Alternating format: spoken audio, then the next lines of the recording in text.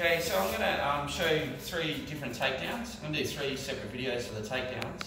Um, the first two um, link into each other really, really well.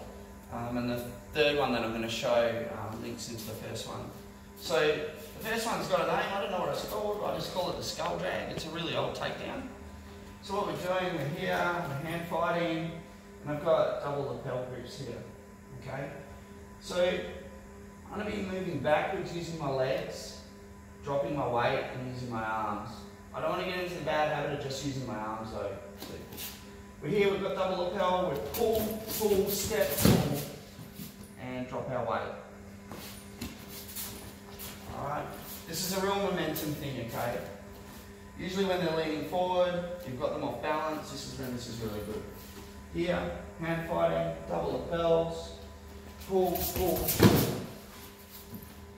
Made a little mistake then, I got my feet together like that, that should never happen.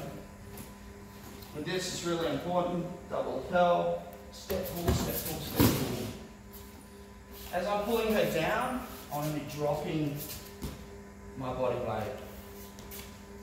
If we use just our arms, they're just going to fight it, you're going to get tired, and it's just not going to work really well. So it's a whole body thing. And it's also really important with this takedown, is we're here, okay, oh, I didn't get it, so I'm just going to let it go. No, you've got to commit.